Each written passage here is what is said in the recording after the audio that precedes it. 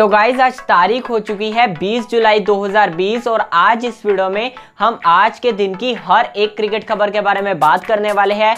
आज के दिन की जो सबसे पहली खबर है वो निकल कर आ रही है बीसीसीआई के जनरल मैनेजर को लेकर, जिन्होंने अभी अभी अस्तीफा दे दिया है।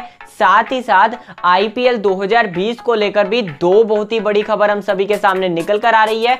और साथ ही टी ट्वेंटी वर्ल्ड कप के ऊपर भी एक अंतिम फैसले को लेकर भी काफ़ी बड़ी खबर है। और आज इस वीडियो में हम 20 जुलाई 2020 की हर एक क्रिकेट खबर के बारे में बात करने वाले हैं। तो गाइज़ अगर आज के दिन की सबसे पहली क्रिकेट खबर की तरफ़ बढ़े तो वो निकल कर आ रही है इंग्लैंड और वेस्ट इंडीज के टेस्ट मैच को लेकर। दरअसल दोस्तों, कल ही 19 जुलाई 2020 को इंग्लैंड और साथ ही साथ वेस्ट इंडीज के दूसरे टेस्ट मैच का चौथा दिन खेला गया था। इस दिन दोस्तों वेस्ट इंडीज की टीम के लिए यह दिन कुछ ज़्यादा अच्छा नहीं गया।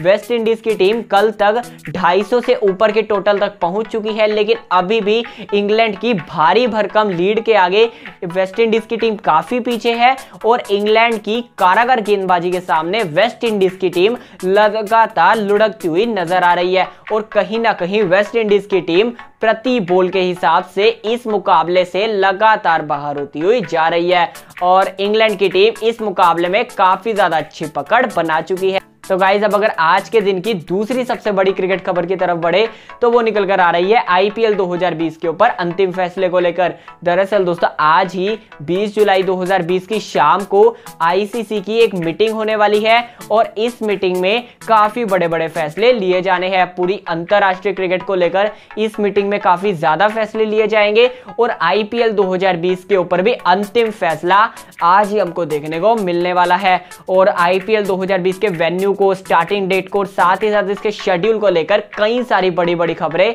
हमको आगे आगे इन वाले दिनों में कुछ दिख सकती है। तो गाइज़ अब अगर आज के दिन की तीसरी सबसे बड़ी खबर के बारे में बात करें तो वो निकल कर आ रही है टी ट्वेंटी वर्ल्ड कप 2020 को लेकर।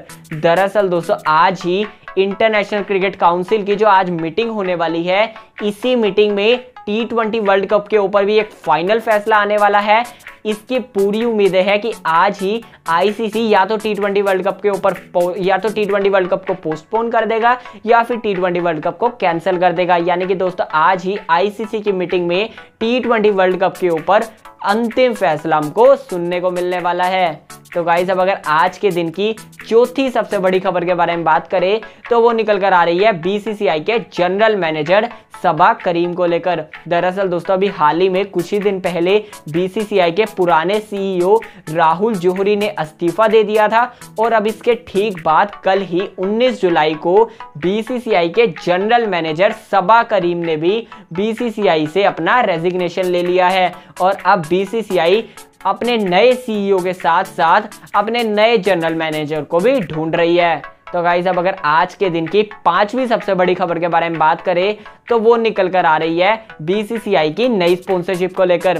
दोस्तों, अभी कुछ ही समय पहले पिछले 12-13 सालों से चल रही बीसीसीआई के साथ नाइकी जो भारतीय टीम के लिए किट्स बनाती है उन्होंने भी ये अनाउंस कर दिया था कि वो बीसीसीआई के साथ अपना कॉन्ट्रैक्ट तोड़ने वाली है और यह कॉन्ट्रैक्ट सितंबर में एंड होने वाला है और इसके ऊपर एक छोटी सी खबर निकल कर आ रही है कि बीसीसीआई अब लगातार अपने नए स्पॉन्सर को ढूंढ रही है। वो अपने नए किट स्पॉन्सर को भी ढूंढ रही है और कहीं ना कहीं अपने जर्सी के लोगों के स्पॉन्सर को भी ढूंढ रही है। तो गाइज़ यह थी 20 जुलाई 2020 से जुड़ी हुई हर एक लेटेस्ट से लेटेस्ट क्रिकेट खबर।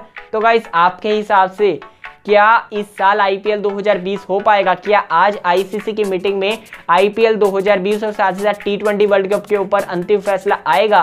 नीचे कमेंट बॉक्स में बताना ना भूलिएगा। अगर वीडियो पसंद आए तो इस वीडियो को लाइक कीजिए, अपने दोस्तों के साथ भी इस वीडियो को शेयर कीजिए और क्रिकेट की हर खबर जानने के लिए चैनल को सब्सक्राइब करने के बाद बेल आइकन को दबाना ना भूलिएगा।